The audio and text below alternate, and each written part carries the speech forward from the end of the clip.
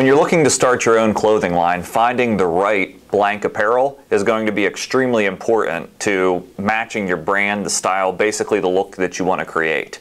Now, if you plan to print that apparel in-house or even get it decorated for you, uh, the apparel also has a big difference on what print technologies will work and ultimately look good. You can't just go to the gas station and pick up the blank t-shirts from there or your local craft store and expect to get the same quality that you can get from blank apparel wholesalers that do this for a living and that's their core business.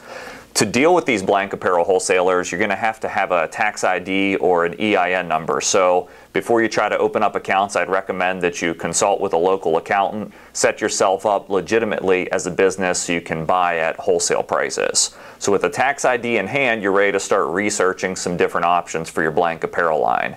I'd like to go through some of my recommendations. One of my favorite blank apparel wholesalers out there is Sanmar and you can reach their website just from sanmar.com. They have a very wide selection of options. Another good choice is American Apparel.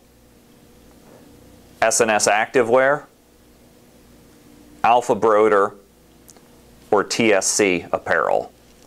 These are some of the choices that are available as blank wholesalers.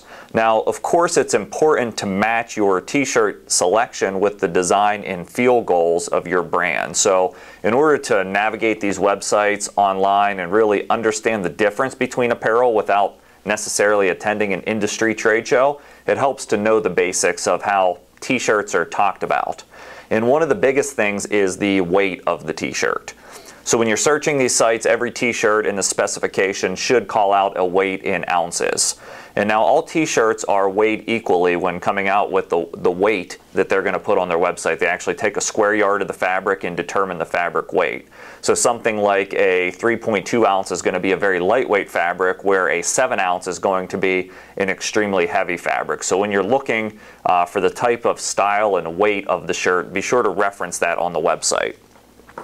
Now, another big thing that's important is thread content. So whether the garment is manufactured and created from cotton, 100% uh, polyester, uh, a blend of fabrics is going to determine you know how it looks, feels, and ultimately the print types. So 100% cotton is extremely uh, popular out there, and of course, if you want more of a performance look and feel to your line, uh, the more polyester content, the better to get the moisture wicking uh, ability, especially when you go to 100% polyester with some of the athletic lines.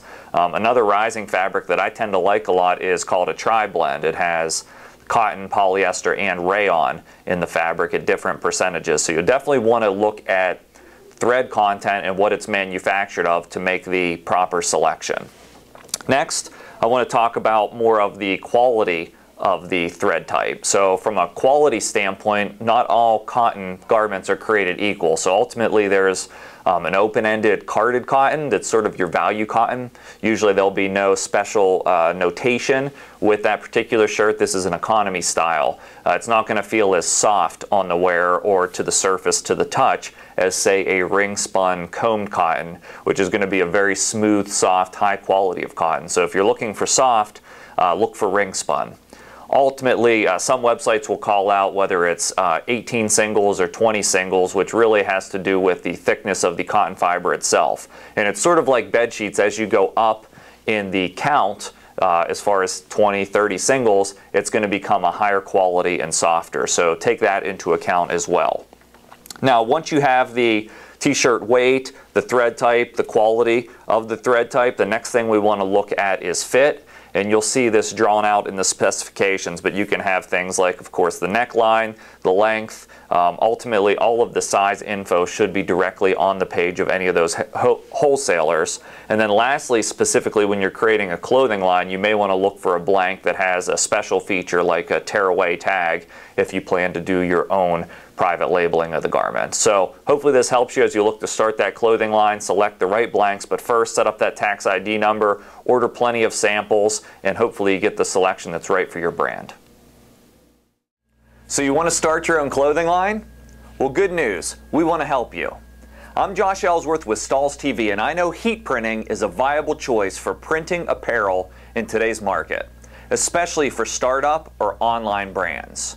So we've created a complete series of videos right here to help you with everything that you need to consider. Feel free to ask questions in the comments field below, and good luck on starting your own t shirt business.